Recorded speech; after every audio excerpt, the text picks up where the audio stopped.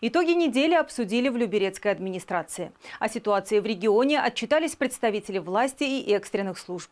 Вопросы ЖКХ, медицины и противопожарной безопасности стали главными темами совещания.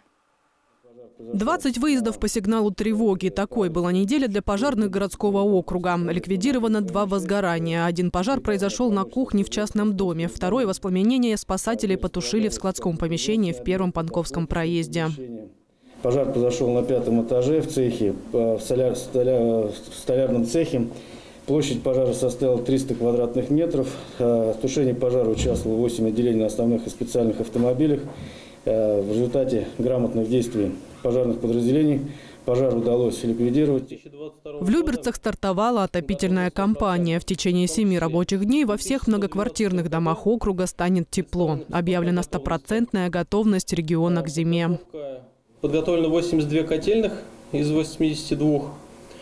Подготовлено 30 ВЗУ из 30. Подготовлено 35 КНС из 35. Э, на 100% от установленного плана создан запас резервного топлива. 8 тысяч обращений получили за неделю люберецкие спецслужбы. Из них на горячую линию администрации поступило 578 обращений, а по единому номеру 112 – 7507. Большинство обращений связано с сектором ЖКХ.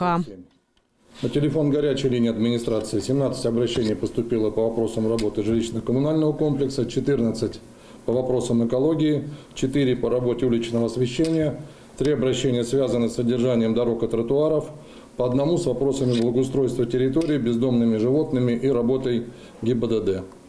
В единую диспетчерскую службу ЖКХ за неделю поступило 6307 обращений. Порадовали новости медицины. Всем детям, родившимся и зарегистрированным в Подмосковье, подарок – набор из 53 предметов. Вместо него можно забрать денежное пособие. В этом случае мать получит 20 тысяч рублей.